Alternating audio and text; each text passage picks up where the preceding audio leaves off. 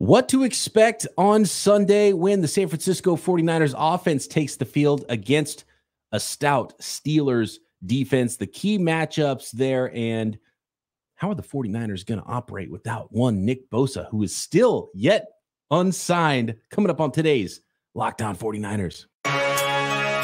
You are Locked On 49ers, your daily San Francisco 49ers podcast, part of the Locked On Podcast Network. Your team every day.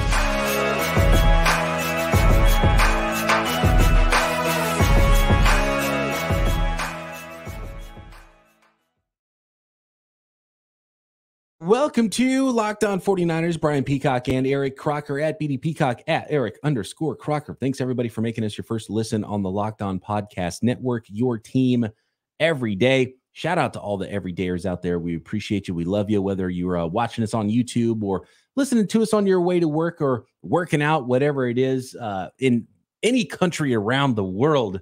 Uh, we love hearing from you, and we love that you are locked in with us every single day here uh, on the podcast. And make sure you are subscribed on YouTube and everywhere you get your podcast if you are not an everydayer and become an everydayer. Today's episode of Locked On 49ers is brought to you by Bird Dogs. Go to birddogs.com slash locked on NFL to enter promo code locked on NFL. You, you, you, just go to the go to the website slash locked on NFL at birddogs.com or enter promo code locked on NFL. You don't have to do, do both either or, and you can get a free Yeti style, style water bottle with your order. You won't want to take your bird dogs off. We promise you. More on bird dogs a little bit later.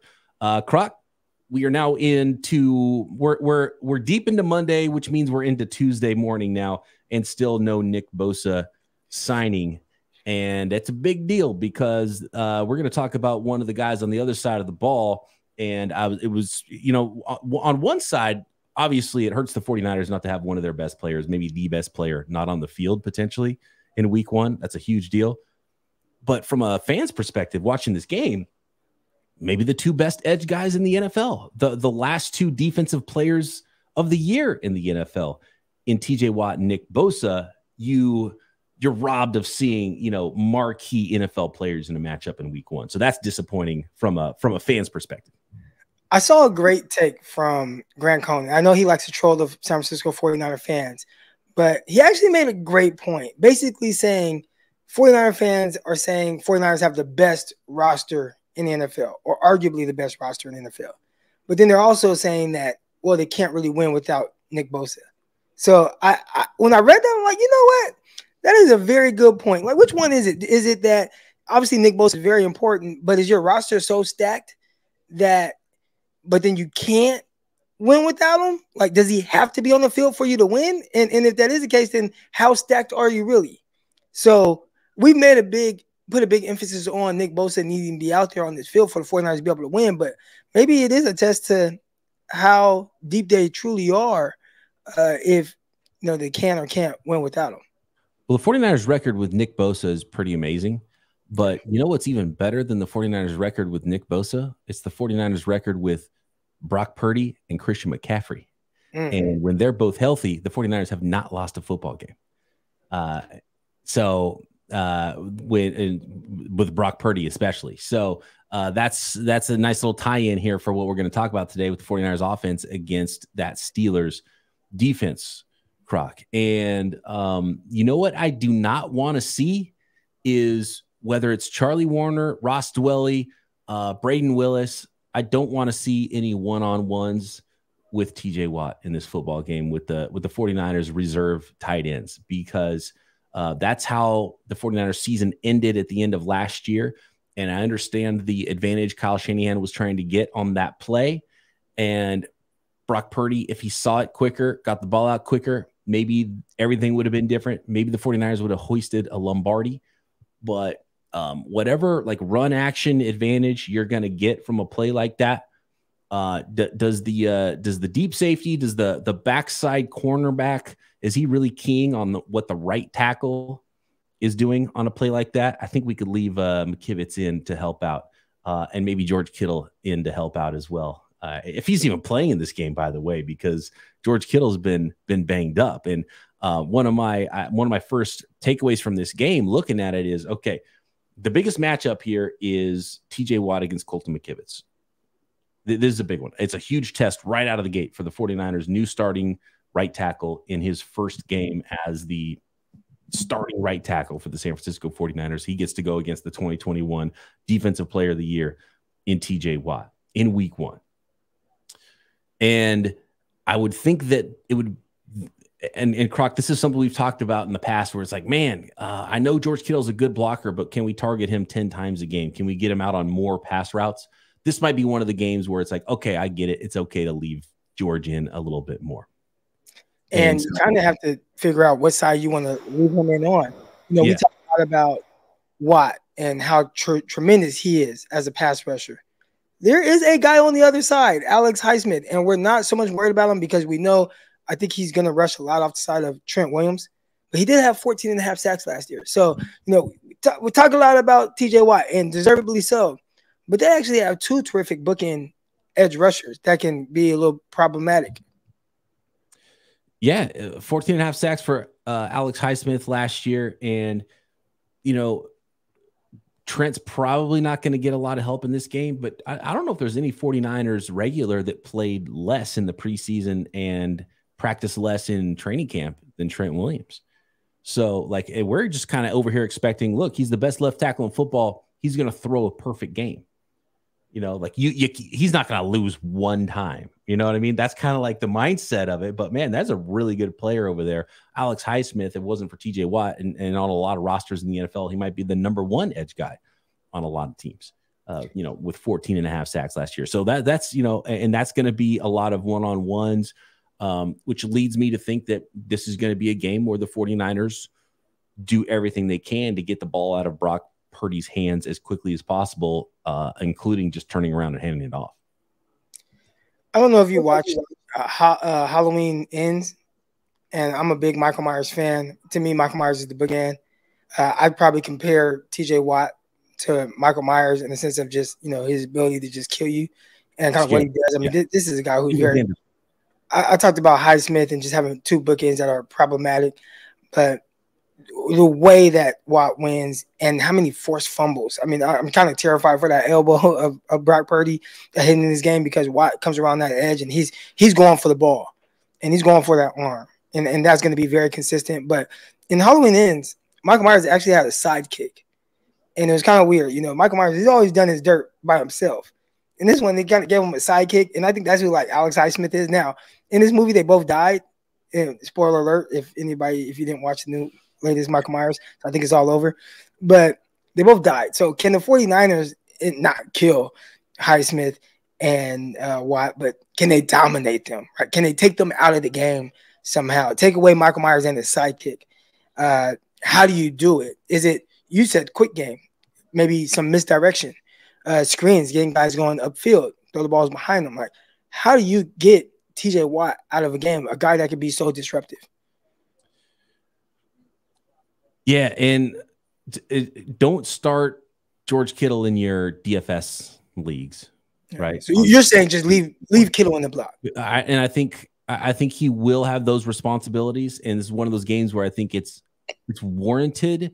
And it's not because I don't believe in Colton McKivitz, but let's just make sure and let's not have what happened in the NFC Championship game to Brock Purdy happened in week one of the stinking season. You know what I mean? Like let's let's protect that blind side. Let's protect that backside uh, against one of the best rushers in the NFL.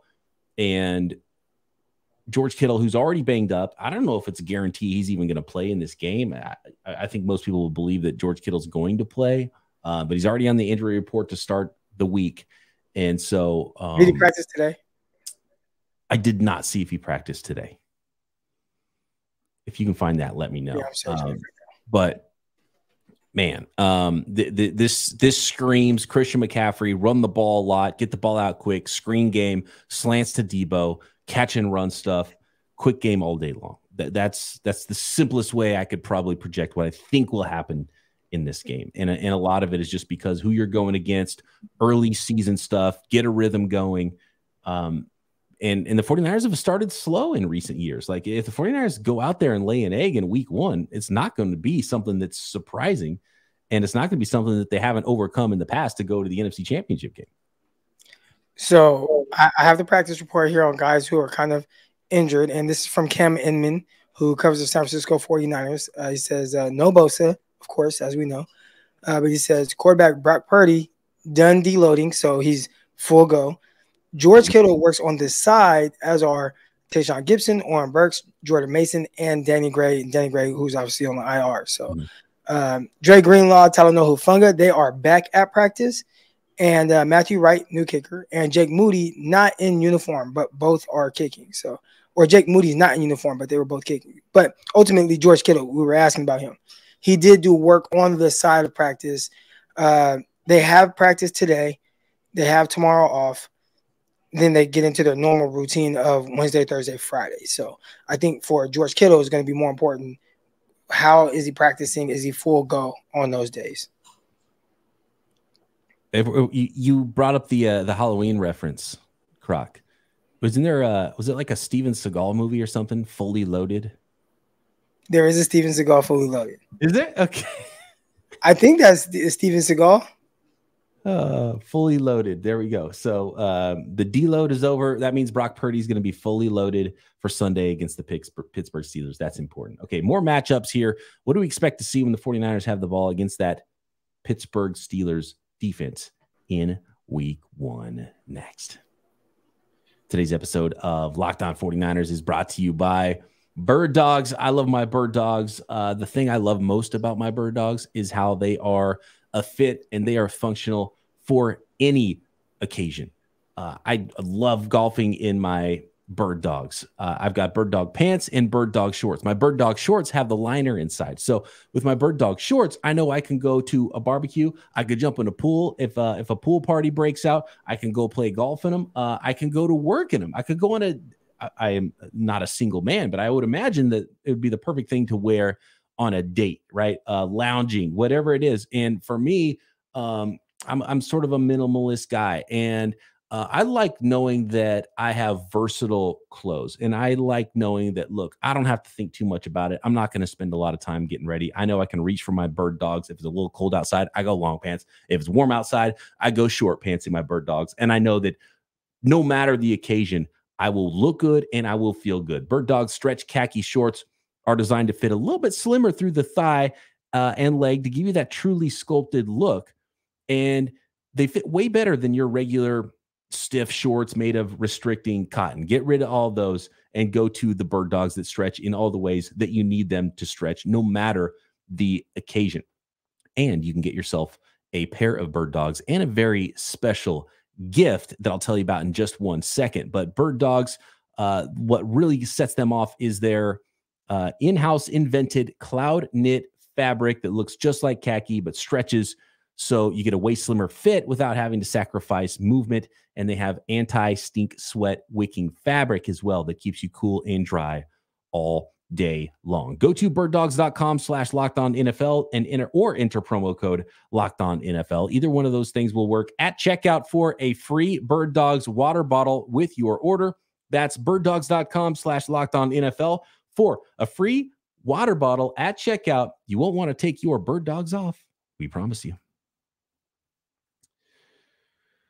Okay, Croc. Um, really quick. That's that is the matchup. If like how much better do you feel about the 49ers offense, the 49ers offensive line, uh, Chris Foerster, the 49ers offensive line coach, John Lynch and Kyle Shanahan, if Colton McKivitz goes out there, like they've put a lot of trust in Colton McKivitz. If he goes out there in week one and says, Yep, I got you, and handles TJ Watt, like that changes kind of my outlook on what the 49ers can be all season long. You, you don't really think that about one offensive lineman in most cases, but he's one of the biggest question marks in a team that has stars everywhere.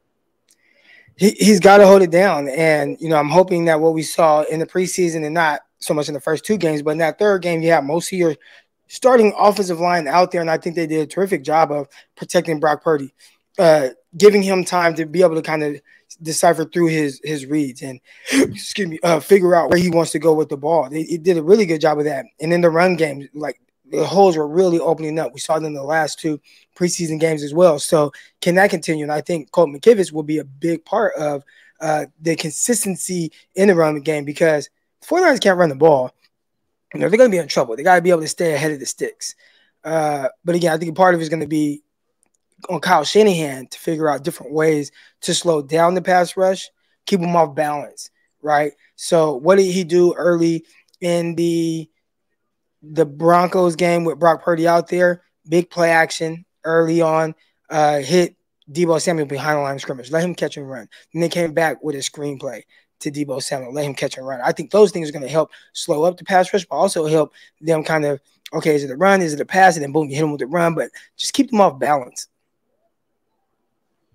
aside from TJ Watt and uh, the the edge, the other edge guy, which is uh, Alex Highsmith, both very good players. They got Nick Herbig, the fourth round pick, that looked awesome actually in the in the preseason, and it's kind of frustrating actually how the the Pittsburgh Steelers they get to they get to steal all these tweener guys. And, and do you remember in the draft back in 2017, TJ Watt was thought about that. He's like, ah, he's kind of an outside linebacker. Maybe he's not stout enough to be an every down defensive end. And the Pittsburgh Steelers are sitting there at the end of round one and they're like, oh, cool. You're going to pass on TJ Watt. He's perfect for us because we're okay.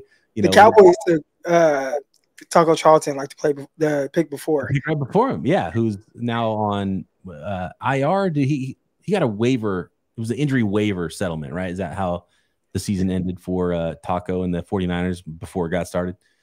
But um, yeah, it's like Nick Herbig was another one. It's like you love the film, but he's like, oh, he's kind of short. He's not really a fit for an every down edge guy. And the Steelers like, perfect, man. We've been doing that for 30 years, just stealing longer than 30 years, just stealing those mid round edge guys. They did it with Highsmith in the third round in, in 2020.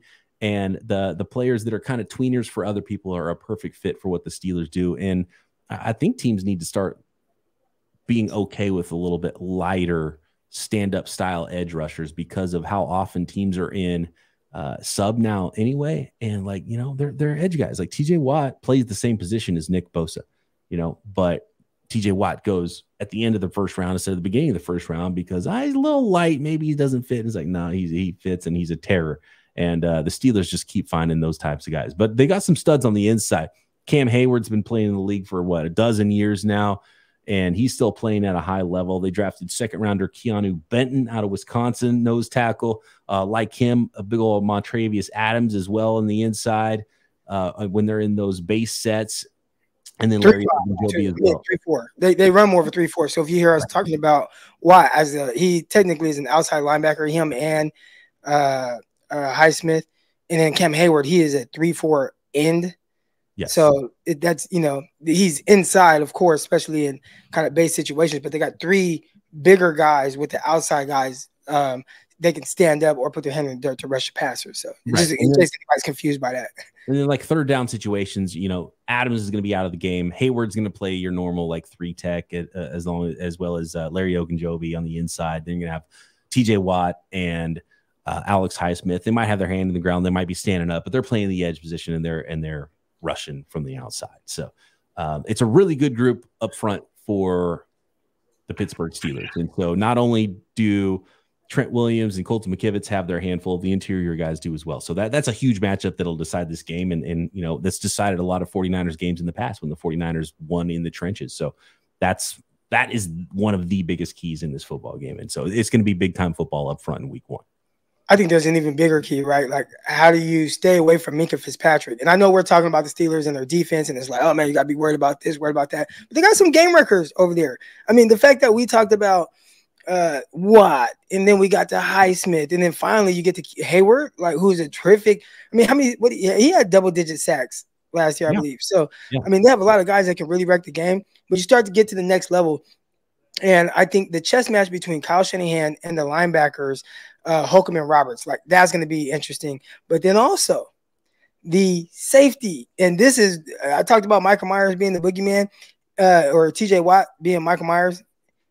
I don't know what we should call uh, Minkah Fitzpatrick, but he's got to be I don't know Jason Voorhees or some. I mean, uh, Freddy Krueger. Freddy Krueger gets you when you're sleeping, though. I guess maybe if you fall asleep a little oh, bit and it's yeah. like, oh, we're gonna throw it over, and yeah, yeah.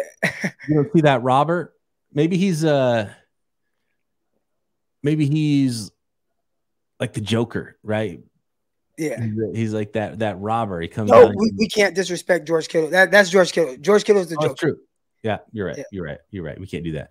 But, but like, but Minkah, what, what what he does, man, and that's a tough thing because the 49ers, with who Brock Purdy is, and I know uh, people don't want to say he's like Jimmy Garoppolo, but they definitely win in a similar area of the field, like where they feel comfortable. Things in front of them, throwing over the middle, right here, I get the ball out quick, uh, accurate, and they hit those areas. And maybe that's Kyle Shanahan. Maybe it's just his offense, and that's where he has these guys living. But they're definitely more comfortable there. The the tough thing is that is where guys like Minkah Fitzpatrick can live. And if he's down and he's a robber, I mean, this is a guy who I thought it was a no brainer at pick nine in 2018 take Minkah Fitzpatrick. This is a guy who started as a freshman, true freshman on Alabama. You you don't see that a whole lot. He was a terrific leader. He was, I mean, just an amazing ball hawk. His versatility, it, it everything about him is like, of course you take him.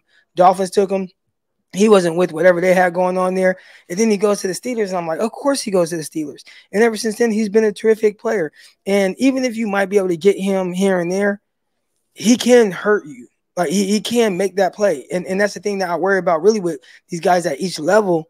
Uh, how do you move him? Is it on Kyle Shanahan to kind of manipulate uh, Minkah Fitzpatrick, maybe do some window dressing, get him moving over here because you know you want to go over here and hit this area. Is it on Brock Purdy to uh, in his ninth or eighth start, whatever it is, be this like savvy veteran and know how to uh, play mind tricks on Minkah Fitzpatrick? But what do you do because he is a guy that he will burn you. Like he he he will if if there if that opportunity presents presents itself. So you you really kind of have to worry about that, especially for a young quarterback that you have back there, there out there who still has a lot of growing. And I know Brock Purdy played so well last year, but there's still a lot of things he hasn't seen, and there's a lot of growth, and we'll see him continue to get better. Part of getting better is having these ups and downs, and you just hope that it's not at the expense of them throwing the ball to Minkah Fitzpatrick. I love that one. And I want to go actually a little bit deeper on that one with Minkah Fitzpatrick. And we talked a little bit off the air because on the uh, uh, on the side of the screen, if you watch this on YouTube, I put Purdy versus Minkah. Is it Kyle versus Minkah or Purdy versus Minkah? And some more matchups in this one when the 49ers have the football against that Pittsburgh Steelers defense. Next. Today's episode of Locked On 49ers is brought to you by FanDuel, America's number one sports book. And come on, you are already ready for NFL season. I don't have to tell you to get ready for the NFL, but there are tons of incredible offers at FanDuel, America's number one sports book, including right now, new customers can bet just $5 and get 200 in bonus bets guaranteed, no matter what happens to that first $5 bet, win or lose. Plus, all customers, not just new customers who bet $5, will get $100 off NFL Sunday ticket from YouTube and YouTube TV. Now is the best time to join FanDuel. The app is easy to use, uh, it's safe. I love both the app and the website. You can maneuver around, find all the bets you want from spreads to player props to building your own parlays. So visit fanduel.com slash locked on and kick off the NFL season with an offer you won't want to miss. FanDuel, official partner of the NFL. That, that's one of the things that I think we're going to learn a lot about Kyle Shanahan and the 49ers. And we're going to learn learn about it twofold. One of the things that we've talked about Croc in the past about not really like how good was Jimmy Garoppolo? It was hard to know because there was the, there was nothing to compare Jimmy Garoppolo to. It was like, well, he's not as good as former teammate Tom Brady, but he's better than former teammate CJ Beathard. And there's a pretty big gap between like how good is is Jimmy Garoppolo? So we're going to learn a lot about Garoppolo going back with his old offensive coordinator Josh McDaniels in um in Las Vegas with the Raiders, right? And then be able to compare what Jimmy looks like in a different offense with a different offensive coordinator. And then we're going to get to see what Brock Purdy looks like when it's his show under Kyle Shanahan and that that sort of Jimmy Garoppolo interception that it's kind of I think it might be kind of the it might be the Kyle Shanahan interception because we've kind of seen it a few times from uh, Trey Lance and we've seen it from Brock Purdy and he hasn't got burned on it a lot. But Minkah Fitzpatrick is one of those. And when you get like that really good, smart linebacker that knows how to read what's going on and can move before the ball's thrown, or you get a really good safety, uh, and we've seen the the 49ers get hit with that before, guys like Jessie Bates and um, Minnesota was like it was Harrison and uh, the linebacker, right, that that got the 49ers with interceptions or near interceptions and that robber coverage and and dropping down and and understanding like, okay, I've seen this concept a million times. Like I'm a I'm an all pro player, veteran player in the NFL. I've seen dagger. I've seen all these concepts. I know that the dig is coming here. So I'm going to look like I don't see it. And you're going to pretend to look me off, but I'm going to jump it and I'm going to get in front of this pass. And I, I, don't think it's necessarily if that kind of throw happens. I think we'll know it's the Kyle Shanahan interception as much as it was the Brock Purdy interception or before him the Jimmy Garoppolo interception. So I I wrote down Purdy versus Minkah, but I think you're right, Croc. There is a lot of Kyle Shanahan versus Minkah in this one. Right. And, and, Kyle Shanahan, it's his game plan. And we know that he kind of wants his quarterbacks to be a little bit of robots. Do what I say. If you do this and you hit it right where I need you to, it'll be a big play. Right. Uh, and then that kind of leads me kind of to the, the next part, right? The uh, defensive coordinator for the Pittsburgh Steelers, which name is Teryl Austin. Yeah. And how is Austin going to slow down, or how is he really going to just defend Deebo Samuel and Christian McCaffrey because I think I look at those guys kind of as a pair. You do some window dressing stuff with Christian McCaffrey to, to get the ball in Deebo Samuel's hands, or vice versa, right? But Put Deebo in motion, some eyes go to him, then you come back, and then boom, you hit either uh, Christian McCaffrey with a run where you get some linebackers kind of spread it out, and then boom, you hit up right up the gut, or you throw the ball to him out of the backfield um, we've seen them do a lot of different things with those guys, line them up both in the backfield at the same time. So, uh, how is Kyle Shanahan going to window dress those two guys against Austin's defense? And the, before we came on here, I talked about how I've been watching Suits, and I know there's some people that started watching it like 2011, like dude, whatever. It's on Netflix now. I was still playing ball. I wasn't watching shows from beginning to end when I was playing ball. Still, oh, an old show. I didn't know it was around that long. Suits is an old show. It's over. Oh, okay. Yeah, but um, it just hit Netflix. So now, obviously, everybody. Okay, that's why everyone's watching. I thought it was a new show because I'd never seen it. It just hit Netflix. So okay. yeah, I watched like eight seasons on Netflix, and then the last season on uh, Peacock. But anyways, I know named after you, huh? No pun intended. Still not so, seeing residuals there, man. One thing about Suits, man, they have this guy named Harvey Spectrum. He, he, he damn near makes me want to be a lawyer. Dude, dude's amazing. All right. But he always kind of knows what his play is. And he's like, all right, I'm going to do this because I know they're going to react this way. And then when they react that way, I'm going to do this and hit them this way and I'm going to win, uh, you know, this case or whatever. And I feel like that's kind of Kyle Shanahan and his window dressing of things with Christian McCaffrey and Deebo Samuel, where uh, Christian McCaffrey, I think a lot of what he's going to be is not so much a decoy, but he's kind of the cheese, right? Like he's the cheese in the sense of setting you up for something and hoping that eventually you're going to take this bait. And the moment you take this bait, there's going to be a big play by Deebo Samuel. There's going to be a big play by Brandon Aiyuk. There's going to be a big play by George Kittle. Like it will happen. And it's really hard to uh, limit those big plays and hitters because you have to pay attention to the cheese, aka Christian McCaffrey. Because if you don't, then he can be the one that gives you the big hitter. So uh, Austin, the defensive coordinator for the Steelers, against Deebo and Christian McCaffrey. What is your plan for them? I, I can't wait to see that battle. And by the way, are we going to see former 49er Kwon Alexander, who is uh, mixing in like their their linebacker group? Uh, apparently, they're they've got like three or four guys they they feel are, are starting level, and they they filter them all in. And I saw Kwon Alexander on the field in the preseason, and he's wearing number like 26 or something. Yeah. He's wearing a number in the 20s. I don't know if he's gonna that he's gonna keep that number into the regular season, but uh, look he looks sweet. He looked like a DB wearing it. And he's he's the he's the he was the Dre the the Dre Greenlaw before Dre Greenlaw, right? Former college safety, became linebacker, NFL linebacker, fast running hit guy, a little too amped up sometimes. Like like Dre Greenlaw, uh, he was like he was Greenlaw 1.0. So um, it'll be fun to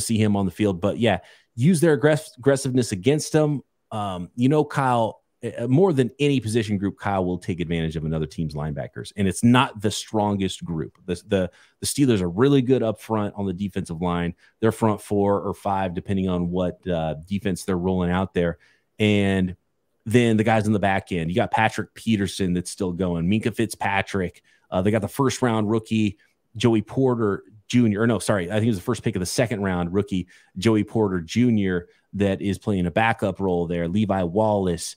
Um, Desmond King is there as well. Keanu Neal. So they got a ton of guys in that secondary, but the linebackers are, are a fine group. of Landon Roberts and Cole Holcomb and Kwon Alexander.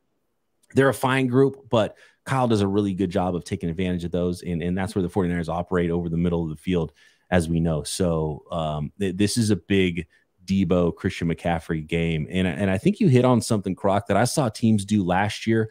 And I thought it was a detriment to a lot of defenses that played against the 49ers is they they paid too much attention to Christian McCaffrey. As good as he is, like if McCaffrey pops off a four and a half yard, five yard run, I mean, that's okay. Like you don't want to give up a 15 yard play behind you because you're worried too much about the running back. And, and Kyle was feeding off that, and Purdy was feeding off that. And so I think I would play the 49ers a little bit more straight up than teams did because there's too many other ways that they can beat you. That's definitely going to be something key to watch. And I'm curious to see what the Steeler fans are going to say about some of these things. Are we right or wrong with these matchups? Because I went and read the comments this morning. Usually I kind of stay away from reading comments. And I don't know if you checked in on it. The Steelers are heavy in our comments right now. Yeah. There was a bunch of them on our live show uh, Sunday night when we were doing it, and most of them were respectful and uh, and having a good time because you know sometimes some fans will show up and you can tell that someone dropped a link in some message board somewhere because all of a sudden a bunch of fans from the other team will show, come in and they'll start talking trash and you know they're usually really dumb and probably nine years old and you know 13 years old and whatever you know yeah this is dumb and so you kind of block them or whatever um, but there's some, you know, there, there's a lot of smart. The Steelers have a really good fan base and not just a crazy fan base. They have they have a smart fan base and a loyal fan base. Um, and it would be interesting to hear what some of the Steelers fan has to say. And, and, I'm sure there'll be some knuckleheads in there as well. But it's not like uh, they're very much they're they're not like the Philadelphia. I know it's Pennsylvania, but uh, they're very different Pennsylvania fans, the Steelers fans versus the the Eagles fans. Yeah. Did what did they say? Did they did they take umbrage to anything we said? They, they no, they were very uh, like you said, kind of respectful. They were just like, "Oh man, like this is good stuff. You guys are great. Can't wait for the game." And yeah, they were really cool it just was interesting to read our comments and just notice a there's a huge difference. It was all Steeler fans, or mm-hmm. like I'd say, you know, three out of four comments were from Steelers fans. Oh wow, yeah, that's big time. I gotta go check that out. Yeah. Shout out to all the Steelers fans that are listening to Locked On 49ers. That's uh, the best way to know you learn your your uh, who you're playing against is locked on. I was doing that before I be uh, became a one of the co-hosts of this show. I would go in and I mean you can listen to them every day. So whether you're working or working out, it's like, man, let me go listen to Locked On Steelers to see what's really going on with this team. And I like to listen to how that those hosts view our team, right? Like, so if you're a 49er fan, go listen to Locked On Steelers. And hey, what is their you know perception of the 49ers? What issues do they think? You know, how do they feel like they can attack the 49ers and see if that kind of aligns with what happens come Sunday? Do you think that we're giving them too much respect, the Steelers? Man, because I do feel like we've said a lot of positive things about them, and it might come off as if you know we think that the 49ers are kind of out outmanned in this. I don't yeah. think that at all, but no. I do think they are a team that they can punch you in the mouth. Like I, I feel that more so on their defense than their offense. But if their offense catches up, and again that goes along with just what I saw in preseason I mean, when you watch a quarterback, regardless of if they're going against backups or whatever, yeah, five possessions and five touchdowns.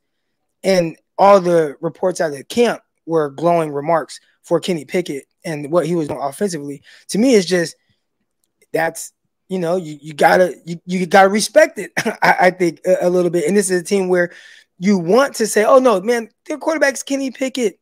This is a guy like no, like he wasn't great last year. Like, man, you got Brock Purdy. But you mentioned it before, even before this preseason. Your co-host Williamson, who did he say he would rather have at quarterback? Yeah, w- Williamson was, and by the way, he he covers the Steelers for Steelers.com, uh, DK Pittsburgh Sports, former ESPN guy, former NFL uh, scout. Um, by the way, check out Peacock and Williamson every day here, covering the entire league on the Locked On Podcast Network. Uh, he he was basically like, look, it was, it was a really cool run and a great story, but I'll take Kenny Pickett with the 49ers weapons and Kyle Shanahan all day long over over Brock Purdy. And I think there's a lot of people who feel that way. And, and there's a lot of, uh, and I, I don't, I'm not surprised people, and I think people should be a little skeptical, right? Because we, and, and 49ers fans too, should be a little bit like, we saw how it went with Jimmy Garoppolo. was like, oh my God, found the next great quarterback. Let's pay him the most anybody's ever been played in NFL history. And it's like, ah, he's okay. You know, after that, but he was amazing in that first season. It was like, ah, okay, he's, you know, fine. Um, and, and so th- that could potentially happen with Brock Purdy. He's not the most physically gifted guy in the world, and, and neither is Kenny Pickett. Um, but both these guys need to have big year twos for their respective teams. And I, I think it's fair for anybody that is a fan of that team to fully believe in Kenny Pickett if you're a Steelers fan, fully believe in Brock Purdy if you're the 49ers fan, and completely fair for people on the outside looking in and say, I don't know, Brock Purdy wears gloves on both. I mean, uh, Kenny Pickett wears gloves on both hands. He's not the most physically gifted guy in the world. Um, and I, I still want to see it, right? Because he, you know, he, he, it was very dink and dunk last year, but he did throw a good deep ball occasionally. Like one time a game, he would kind of let one go and, you know, uh, George Pickens would go get it. And then with Brock Purdy, it's the same. It's like, okay, they had an easy schedule the, in the regular season. He's not the most physically gifted guy in the world. It's mostly Kyle Shanahan, got all the weapons, get the ball out quick, let Christian McCaffrey and Deebo Samuel and George Kittle all do the work after the catch, right? Uh, those are completely fair takes. And so we're going to learn a lot about which one of those is right and if it's somewhere in the middle with both of those quarterbacks. And they'll both go a huge way because there's a lot of talent on the on both of those rosters in deciding how good these teams are ultimately. Who will be more dependent on having a great defense? I think they're very similar man. You know actually you know who's at the steelers are almost more similar to the seahawks in a way where it's like they're just they're well coached and they're consistent and you know they're going to be a pain in the ass you know what I mean? And that's like kind of the the Steelers have been the Steelers have been I think so my Matt Williamson, my co-host of Peacock and Williamson, he just turned 50 years old recently. There have been three head coaches in his lifetime of the Pittsburgh Steelers. like the most stable organization. They are in the playoff hunt every single year. They are so stable. So you should never be surprised when this team is good and they're going to compete every single time right? And so if you don't have your stuff together, the, the Steelers can beat you, can beat any team almost every year, even in a rebuild year like last year with a rookie quarterback. Um, I don't even remember. What, beat, I want to say it was the Bengals like week one. Yeah, they beat the Bengals week one with Trubisky, and then went on a nice little run at the end of the year too, winning like six of seven or uh, six of eight or something like that, and won four straight at the end of the year. And so, um, yeah, this is, they're they're this is a really interesting team um, that's that's going to be in the playoff hunt. The Steelers are, and the 49ers should absolutely be in the playoff hunt as well. Um, I would say the Steelers, though, still a little bit more dependent based on what they're off because the Brock Purdy version of the offense was still explosive last year for the 49ers. You couldn't call the Steelers offense explosive last year. But they got some pieces. Yeah. It's going to be fun it's gonna be fun, Croc. Uh, I can't wait to see how this all turns out. Shout out to the Steelers fans as well that are out there. Let us know in the comments on YouTube what we got right, what we got wrong. We appreciate you. Um, shout out to all the the 49ers faithful, all the everydayers out there. Make sure you are subscribed on YouTube and everywhere you get your podcast. Little Winky Wednesday action tomorrow. I think it's time for some season predictions, Croc, and then we'll get back into the nitty gritty. Uh, Chris Carter going to join us, Locked On Steelers, for a crossover as we get ready for week number one this week on Locked On 49ers. Talk to you then. Rock and I'll be back with you, Locked On 49ers. Subscribe to this video.